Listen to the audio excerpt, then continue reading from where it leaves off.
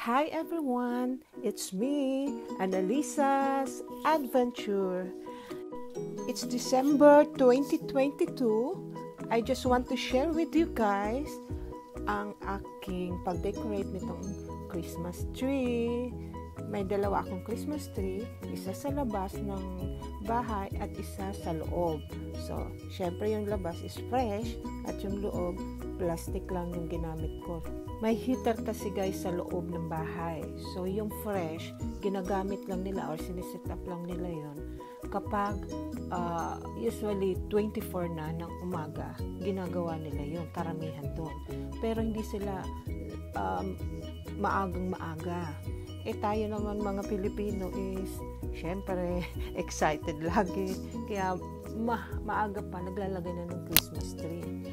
So, kaya plastic lang yung ginamit ko. Dahil kapag fresh ang nilagay ko at mag maaga ko siyang sinet up, maglalaglagan siya guys. Dahil fresh na yun. Tapos mainit. May heater kasi ang loob ng bahay. So, nangyari na sa akin yun. Kaya, mahirap.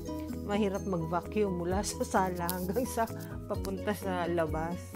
Kaya, gamit ko lang yung ano, yung plastic sa loob. Pero sa loob, uh, sa labas, syempre fresh. Kaya shout out dyan sa nagbigay sa akin ng fresh. Sponsor ko, Ate Josie. Thank you, thank you sa pa-Christmas tree. So, okay guys. Pakita ko na sa inyo kung paano ako mag uh, set up ng Christmas tree. Ayan guys, ang harap ng bahay. O, ba diba? Top of the hills. Bundok ang nakikita mong view. gagamit ako guys nitong uh, Christmas light uh, multicolor um, LED indoor and outdoor na rin siya so nabili ko siya last year pa syempre hindi naman natin itatapon niya dahil gumagana pa siya kaya siya ang gagamitin ko ngayon para dito sa labas para may ibang kulay gagamitan ko rin siya ng timer guys para kahit natutulog ka pa or walang tao ang bahay is mag-on and off ang iyong Christmas light. So, kung sinet up ko siya ng 4pm, automatic na siya ng 4pm, bukas siya.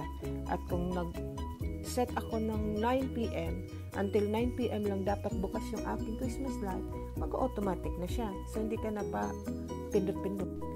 So, heto na guys, ang aking labas. hindi ko pala na i-video habang ginilalagay ko. Kaya ipakita ko na lang sa inyo yung kinalabasan ng ano ng pag-setup ko. So, yan yung sa labas. Ito yung guys na ano, yung sinasabing ganda-ganda nung aura mo. Ganda-ganda nung akala mo confident ka pa naman na nagvi-video ka tapos hindi pala naka-play hindi pala naka-play on yung, yung video. So, eto, walang na-record. Kaya, tapos na. Makikita nyo, tapos na. So, ayan guys, yan sa labas. Pumasok na ako dito sa loob ng bahay dahil medyo napakalamig na. Kaya, dito ako sa may bintana para at least kita niya rin yung view dyan sa bundok. Oh, kita niyo yung kabila. May snow. Kaya, Ayan, yung kulay niya. So, naglagay din ako mga pearl, gold and silver. Nilagay ko. Ayan. At eto naman guys sa gabi. Oh. Di ba maganda yung kulay? Di ba buhay na buhay? Liwanag yung ano, iba-ibang ano. Ano ba? Puro ano. Ganda, di ba? Oh, ako lang ata nagsasabi maganda eh.